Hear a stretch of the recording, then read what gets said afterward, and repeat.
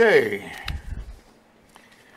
Everyone has a copy of the scriptures that we plan to be referencing today, at least most of, most of the scriptures. But I've entitled our message this morning, When Opportunity Passes By. Hope we have great opportunity in the Lord. But that opportunity is passing away, isn't it? Slowly. By the way, in case y'all don't know it, Cheryl still does our bulletins for us and picks them out up at Shepherd. She emails them to me and I edit them, update the prayer list, and print them. But this week she put one in there of people leaving this old planet, people dying. Said every minute someone leaves this world behind, we're all in line without knowing it. We don't know how many people are before us or behind us. We can't get out of line. Somewhere in that place, we don't know what day that we're going to be leaving this old earth. But we're in line somewhere, aren't we? Anyway, I appreciate her for coming up with those things and doing the bulletin. If you talk to her, you tell her we appreciate her as she's continued to do that over these years.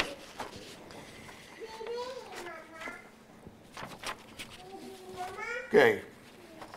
Let's read Luke chapter 19, verse 41 through 44. And when he, Jesus, was come near, he beheld the city of Jerusalem and wept over it. Now, you can get the picture a moment before we continue. Here's the very Son of God Himself. Not a substitute, not an impostor, but the real thing that God sent into this world, made of a woman, to come and minister to this generation. If you think about all the thousand years that have passed on our calendars, there was a space of a little over three years that our Lord spent His ministry on this earth. Those people that were living during this particular time, close to 2,000 years ago, were a blessed people indeed. They had the privilege of being the only generation ever to have the Son of Man in a bodily form with them. He spent his years, a little over three years, they say, in his ministry. And here he is coming and looking over Jerusalem and weeping. Now, verse 42. Here's what he said to Jerusalem If thou hast known, even thou at least in this thy day, the things which belong unto thy peace, but now it's too late. They're hid from thine eyes. For the days shall come to pass, come upon thee, that thine enemies shall cast a trench about thee, compass thee around, and keep thee in on every side, shall lay thee even with the ground, and thy children within thee. And thou shalt not leave in thee one stone upon another. Because thou, thou knewest not the time of thy visitation. You didn't know who was visiting with you. By the way, I'll throw this in.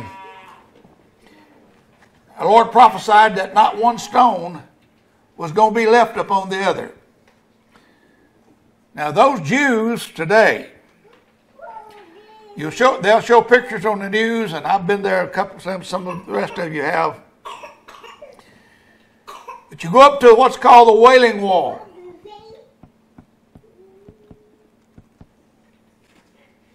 Over in Jerusalem, they advertise it the only part of the original wall that still stands.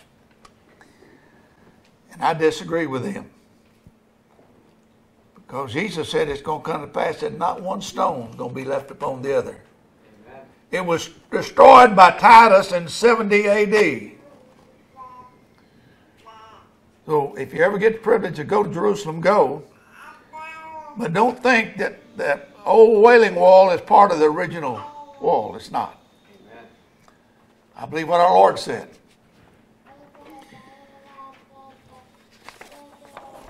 But here we have the record of our Lord as he came from Jericho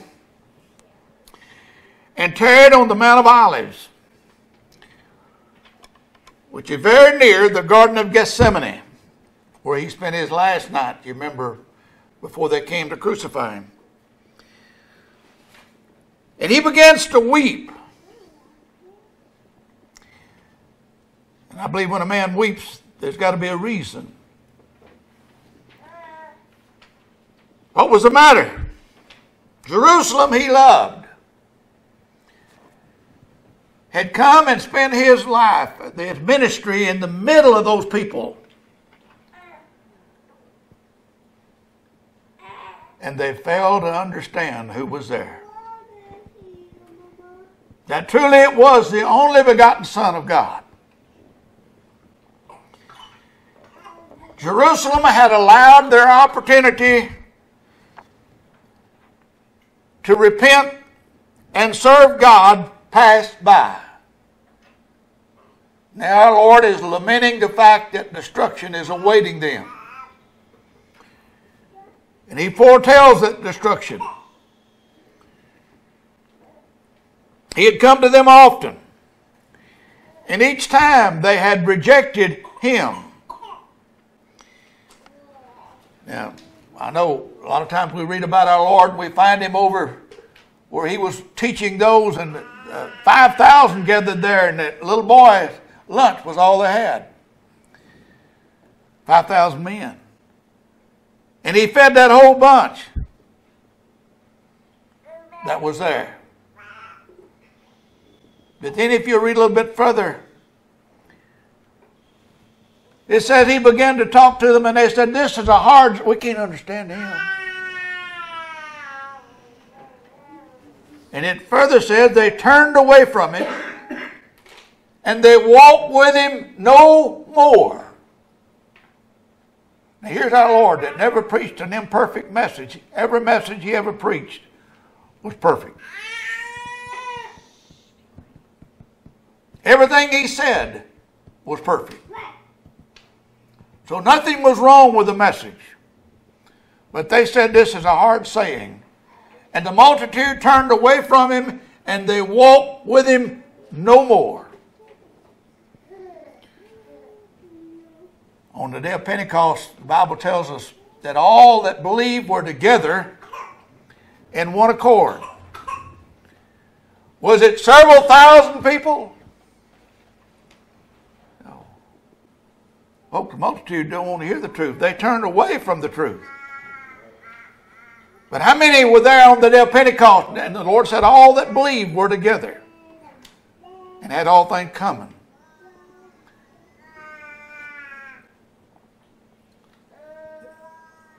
In one accord, it says.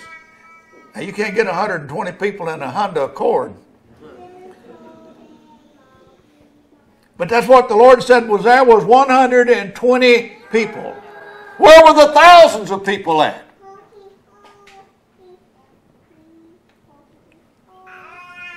Where are they at today?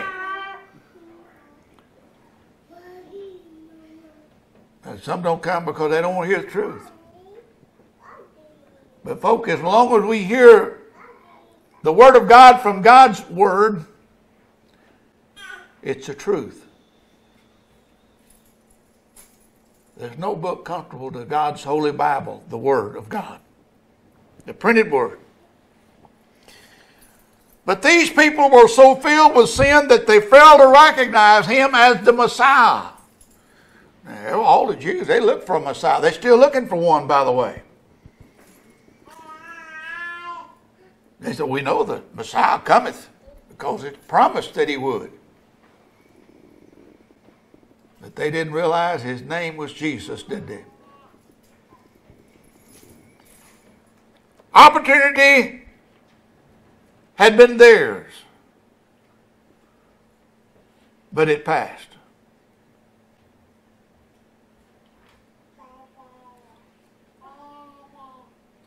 Folk opportunity passes. Many years ago now, I was working in a manufacturing plant. Several preachers were working together there, about five of us working one shift. We went over and tried to witness to a man who was running a molding machine. I'll never forget it.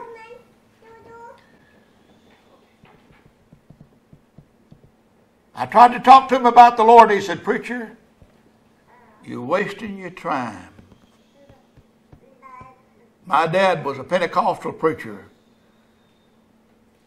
And he told me that I was condemned to hell. And the Spirit quit striving with me. Don't waste your breath, he said. In his own mind, opportunity had passed by to be saved. Folks, that's an awful feeling talk to someone that says they cannot be. But I, folk, I believe that he was so confused because of his teaching. I believe he could have been saved if he had repented and trusted the Lord as his Savior. But I'm telling you this much our opportunity is passing, as was the opportunity of the people in our Lord's day. Just like it was in Jerusalem, especially in America, the lost have an opportunity to be saved because Jesus is passing. The gospel is preached freely. And I'm thankful for these men that go on Sunday afternoon and any other time they can and talk to people about Jesus because they want to see people saved. I thought about that over the years. And I used to call on churches in a job that I was at for some 25 years. And calling on churches, and we'd, we'd call on a bunch per day. Uh, at over 8,000 churches in our account from here to Brownsville. But we went into some parking lots I'll never forget. We had some parking lots said, enter to worship. And as you left going out the parking space, you're now entering the mission field when you left the church. Folks, that's so true.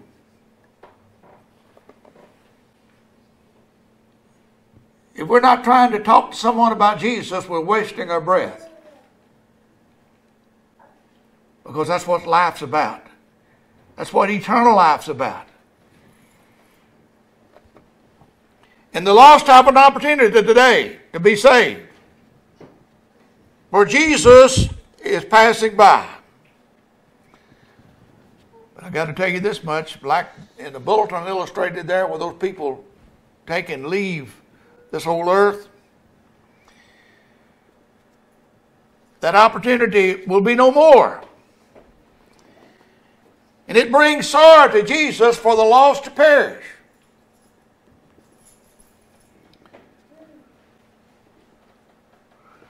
Linda and I were up in East Texas this week.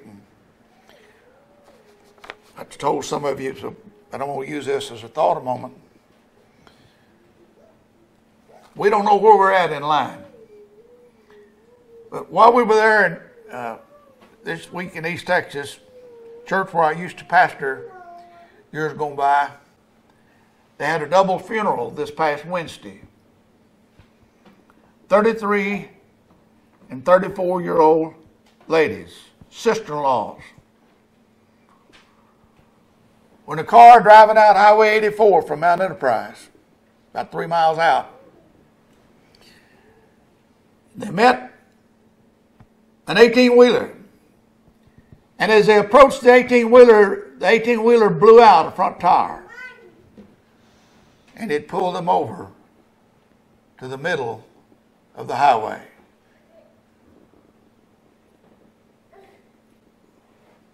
And those two ladies were literally burned up, melted them. One of them had three children, and the other one, two. In a split second, you're gone, folks. In a split second. And we don't know where we're at. But I do know this we have opportunity today. But don't take that opportunity for granted because it's passing by. The saved opportunity have opportunity unlimited to serve a living God. Now, if you look back at your paper in the middle of the page, John 12, verse 35, then Jesus said unto them, Yet a little while is the light with you. Walk while you have the light, lest darkness come upon you. For he that walketh in darkness knoweth not whither he goeth. Jesus was with them. He was the light of the he's still the light of the world. And the Lord wants us to come to that light. And Pope, my plea and prayer is to you that you'll come to him so that you can be saved and live with us forever. When the ages roll on and on, we want you to be present, don't we?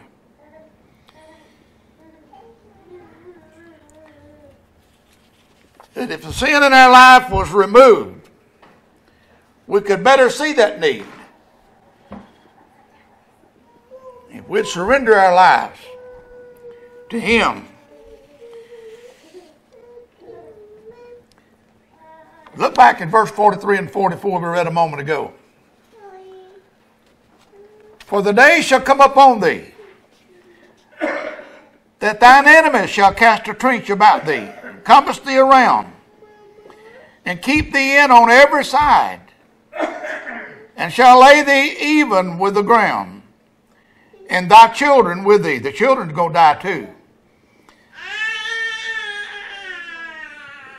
They shall not leave in thee one stone upon another, because I knewest not the time of thy visitation.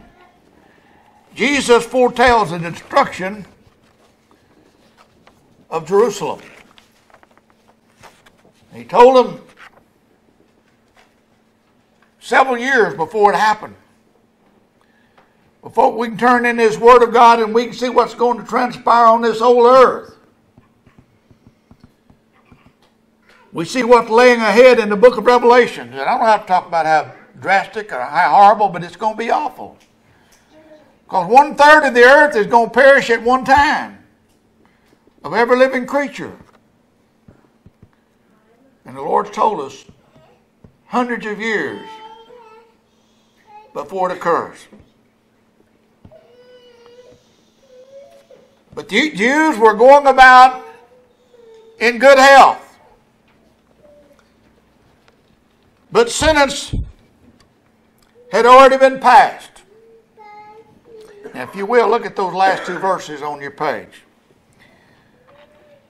Jesus said, O Jerusalem, Jerusalem, thou that killest the prophets and stonest them which are sent unto thee, how often would I have gathered thy children together, even as a hen gathereth her chickens under her wings, and ye would not. Behold, your house is left unto you desolate. Destruction is coming. All because they rejected the one who came to save them from their sins. Thousands had let their opportunity pass by. Judgment was coming. The city was to be destroyed. And even the children were to suffer because of the sins of their parents. Did you hear that, parents? The children were to suffer because of the sins of their parents. You say, Preacher, don't work that way. I said, it was work that way. Look at all the people in Noah's day that perished with the flood.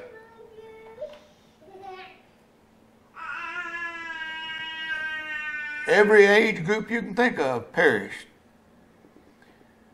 It's because mom and dad didn't repent and turn to God. The city was to be destroyed, and it was destroyed. Judgment came.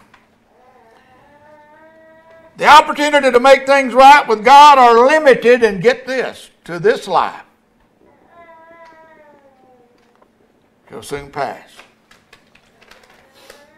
I picked up a newsletter this week from a Catholic church. And the priest asked that everybody pray for those folks in purgatory.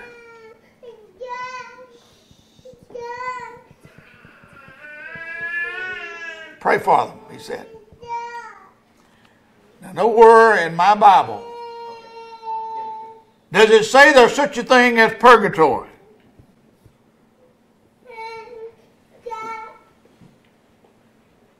My Bible says in Luke chapter 16, verse 19, that says, There was a certain rich man who was clothed in purple and fine linen, and he fared sumptuously every day. And there was a beggar named Lazarus that laid at his gate full of sores. Moreover, the dogs came and they licked his sores.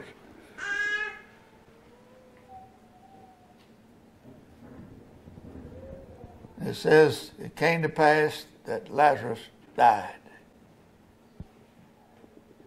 and was carried by the angels into Abraham's bosom. And was comforted. And it says the rich man also died. I don't care how rich you are, folks. Money can't keep you here. The rich man also died. And in hell, he lifted up his eyes and said, Father Abraham, have mercy on me. And send Lazarus and made him dip his finger in water and cool my tongue, for I'm tormented in this flame. And Abraham said, Son, remember thou, you had good things. But mainly, the rich man rejected Christ. He was too busy gathering stuff things. But he said, Father Abraham, if, if you can't cool my tongue, then send Lazarus to my brothers. And if he come from the dead, they'll believe. Lest my brothers also come to this awful place.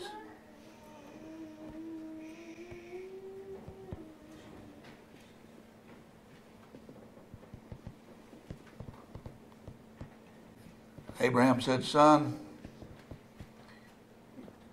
if they believe Moses and the prophets, the Word of God, they won't believe if one rose from the dead, namely Lazarus. Folk, opportunity to escape that place is current, present, beyond the grave.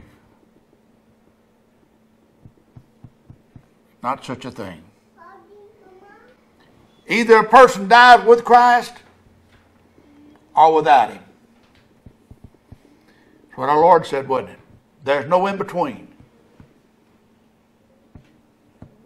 Either for me or against me, he said.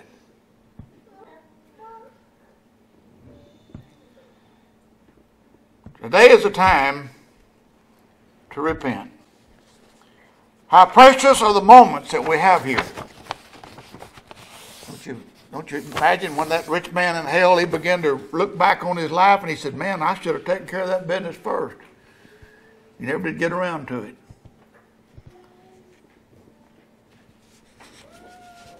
But, folk, opportunity is ours in the Lord. Our opportunity is limited. We don't know how much longer we got, do we? My challenge to you today you let the rich man have all of hell he wants. You don't go there. Trust Christ as your Savior.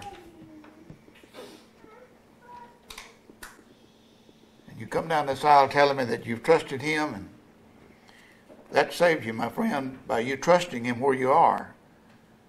And then if you come down and say you want to follow the Lord in baptism, we'll take care of that too for you.